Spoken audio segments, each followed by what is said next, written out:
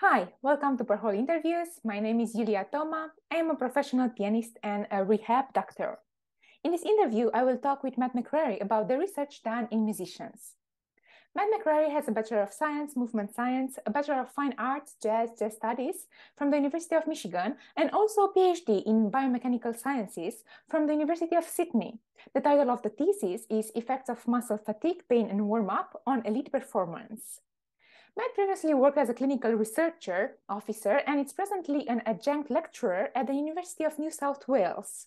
He was a Humboldt postdoctoral fellow at the Hanover University of Music, Drama and Media, and at the moment he's a postdoctoral researcher at Hanover Medical School and member of board of directors and the director of Young Professionals Committee of the Performing Arts Medicine Association, PAMA. Taking into consideration that I am also a volunteer at PAMA, I can say that Matt is somehow kind of my boss. So I'm very honored, Matt, that you're here today, and thank you. Yeah, no, thanks for having me. Yeah, a volunteer boss, but yeah, sure. what does it mean for you, Matt, to be a research in a transdisciplinary field, music medicine? How it is? Uh, yeah, I mean, it's both, it's simultaneously really exciting and really challenging. Uh, I mean, exciting because there's, um, uh, yeah, basically there's so many unanswered questions that you can go in a variety of different research directions and really everything's pretty wide open. Like it's not very, uh, the path is not narrow and well defined. Yeah, uh, that also presents some challenges, of course, uh, because it's this new field. Um, so getting buy-in from other scientists, also from artists as well, uh, in terms of you know that we're trying to help improve their health, not uh, have negative impacts on their playing. Um, and then also just for research, pure, purely practical considerations, getting funding for research uh, because everything's so wide open and not defined can be a challenge as well. Yes, somehow people can say that it's a bit chaotic to do research in this field because it's not standardized yet. Yes, yeah, yeah, yeah, exactly. But I mean, I think it's uh, it's like any young field. I think we'll we'll get there in the end. But uh, it's a but process. yeah, it, yeah, exactly. It's chaotic, but it's uh, also exciting at the same time. Yes, but until now, um, what do you think are the most common pathologies and symptoms that you have observed in musicians? Uh, yeah, so my research specifically is focused a lot on pain syndromes, uh, which have also uh, there have been a few studies that have noted that pain is the most common complaint in uh, in musicians more broadly. Um, so yeah, so probably pain syndromes, uh, largely in the playing limb, if we're talking about uh, violinists or pianists or percussionists, and then pain around the the embouchure in um, in wind players as well. So do you think it's more physical related symptoms? Yeah, well, that's that's actually a good point. Uh, so I think that in terms of the reporting, I think that uh, what we've seen from the research, which has been generally physically focused, focused on physical symptoms, uh, mm-hmm. has been pain.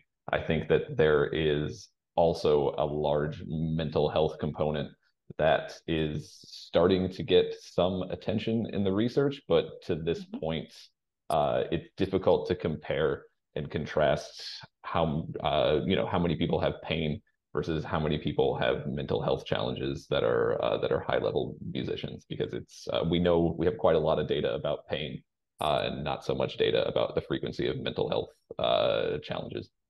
Okay, and regarding pain, do you think it's more musculoskeletal because of overexertion, or what do you think?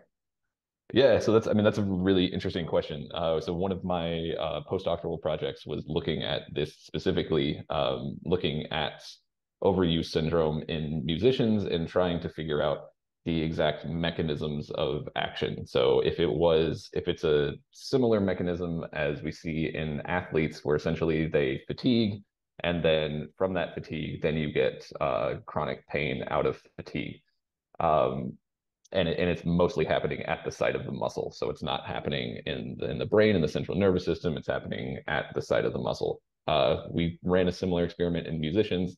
We saw very little fatigue happening at the site of the muscle, uh, which then, okay. you know, if you if you extrapolate that out, if we're talking about pain, the way that pain comes about there appears to be a greater involvement of cognitive processes and the central nervous system than just pain happening at you know if you have forearm pain that doesn't mean that you're forearm muscles are necessarily over fatigued but Mhm. that might be that's the site of uh, where the pain is presented um, So like the top of the iceberg. It's more complex Yes. that we can yes imagine, yeah, yeah, yeah. or than a exactly. musician might think about this. right yeah right exactly yeah so the problems are manifesting physically but that may not be uh, where they start Okay, you also mentioned like uh, where it's located, where's the um, localization depending of the instrument practiced, and um, but can you say or have you noticed any differentiation by age? Uh, yeah, so that's a that's a really interesting question, actually, uh, because we definitely see more younger musicians, uh, so university age musicians and early career musicians, uh, with a greater degree of conditions and pain syndromes and uh, and, and other uh, performance related conditions. Um, and, we see less in the older cohorts, so professional 50, 60 year old professionals, fewer complaints. Uh, however, there's uh, there's likely a survivor effect at play uh, because these uh, these effects haven't really been uh, well discussed in the musical community, and there's not really that many great treatment options for this. Okay, so you mentioned that you're not so many treatment option at the moment for the musicians. Uh, yeah. So I mean, in terms of uh, yeah, at, in terms of validated treatment options, like you would see for uh, for other conditions, particularly.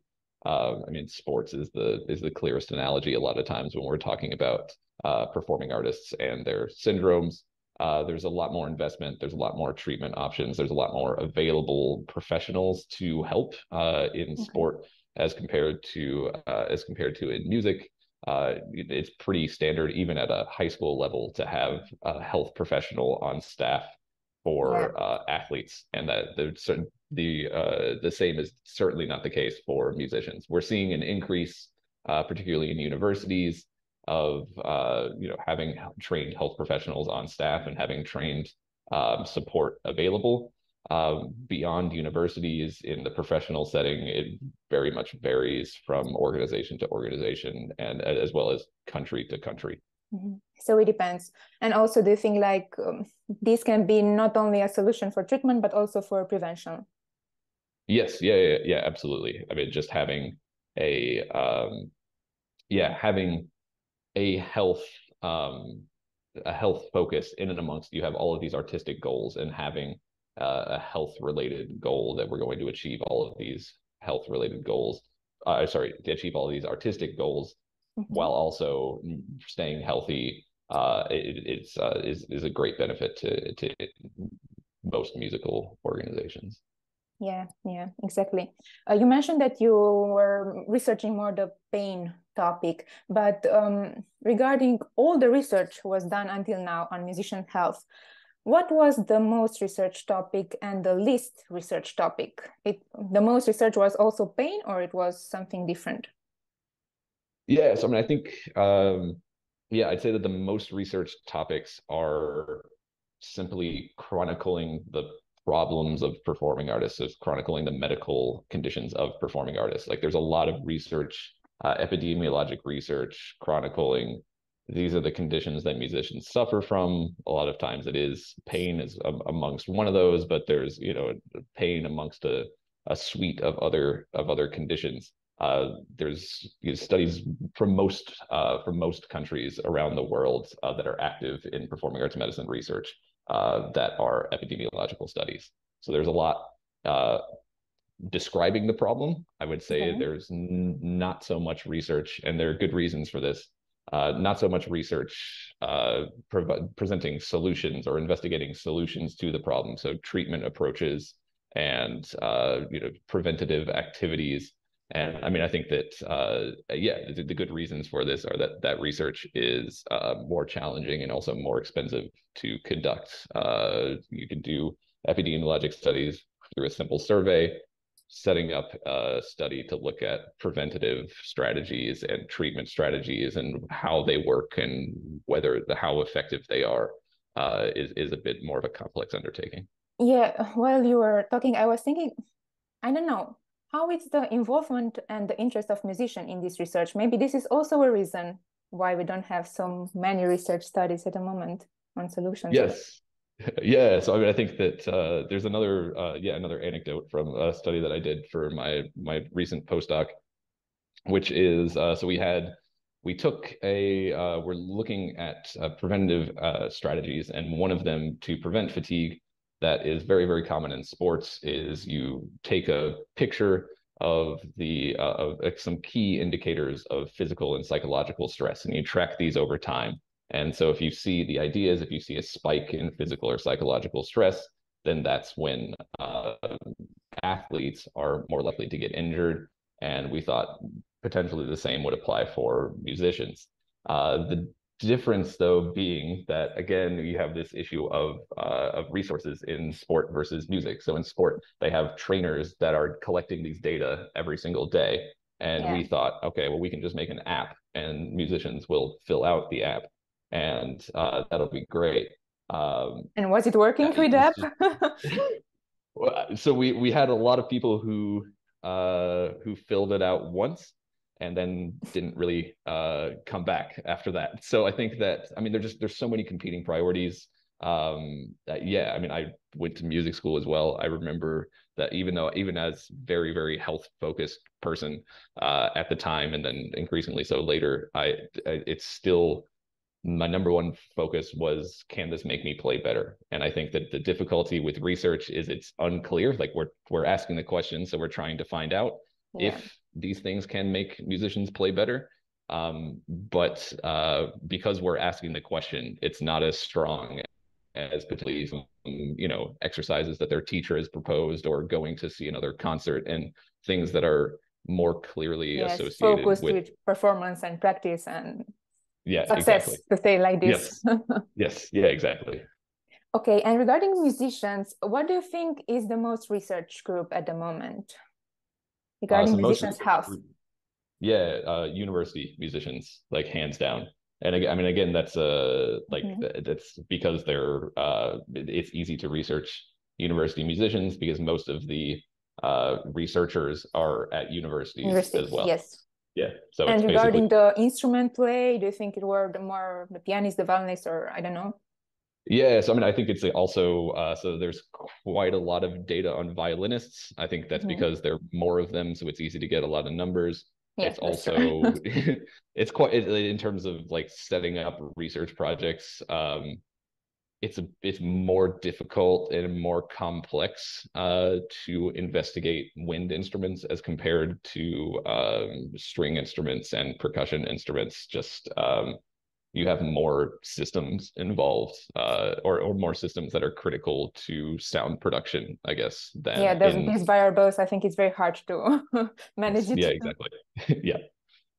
Okay so um, you talked what was done until now from now on what do you think um, what is the trend for the research in the musicians health field toward which direction toward which theme yeah so i think um, and I'm quite happy to see this. Uh, the, the theme is towards more research into treatment and prevention strategies uh, because we're becoming a slightly bigger field, and so we're having uh, there's more attention, and with more attention comes a bit more uh, a bit more resources.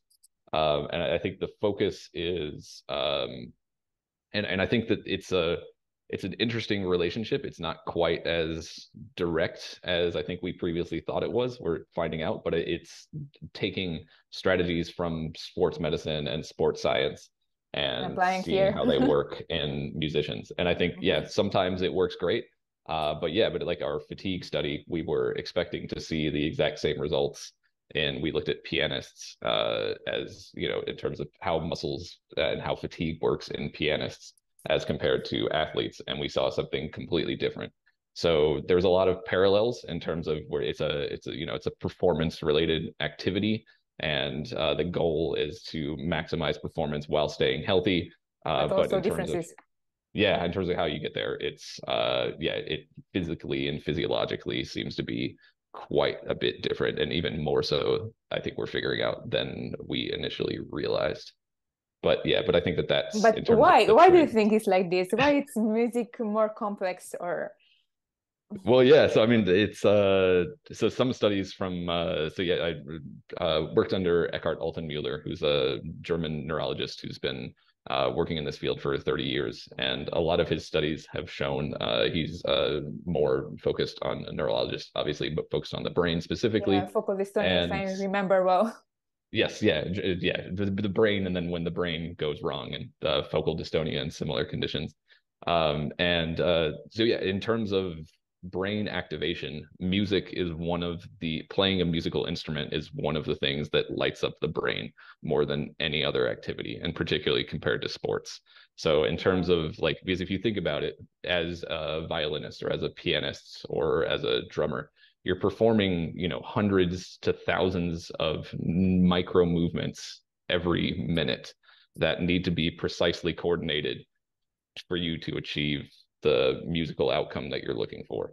And uh, in sport, it's a lot more strength and power focus, but the yeah. the the the burden of coordination is not quite as high. So you have like there's a higher burden on like the muscles specifically, but less burden on the cognitive system. And so I think that that's that's the hypothesis that I'm working with at the moment is that the burden is more central and more cognitive in musicians as compared to athletes where it's more musculoskeletal. So musicians should, feel like more smart. yeah, yeah. Well, there's a lot of there's there's some data that suggests that uh, musicians are uh yeah in terms of how their brain functions. But I'm like, joking. Yeah, I'm better. No, no, no, but yeah, I'm saying yeah. To your joke, there is also some data that shows. Okay. That, yeah. okay. At the end of our interview, Matt, if you could pass a thought, a message to musicians in 2023, what would it be? Ah, From your, your perspective as a researcher, what you should tell for us, for musicians? Yeah, I mean, I think, uh, oh, that's a good question. One thought. Um, yeah, I guess it would be that, um, yeah, it, when you're looking to perform better and when you're looking to maximize your performance, um, actually your main limiting factor is your own health. So um, if you can, you know, you need to maximize your own health in order to maximize your performance. Uh, they're not, uh, they're codependent rather than mutually exclusive, which I think there's a lot of uh, the prevailing wisdom is that, you know, you play through the pain and you, uh, and, and you know, and that's normal. And that's, uh, you know, I, famous musicians who have had physical problems have been successful musicians in spite of their physical problems and and, and mental health challenges, not because of those uh, mental health challenges. So uh, so yeah, so I guess if I could say one thing, it would be um, yeah, your your your health and uh, your good health is the vehicle uh, that's going to take you to even greater heights as a as a performer and as a musician. And if you allow me to rephrase it, maybe to see performance like in a holistic way. Yes. Yeah. Yeah. Yeah. Exactly good for yeah. the musicians. Okay, thank you very much for the interview. I'm very grateful for your time today. Yeah, no, thanks so much for having me.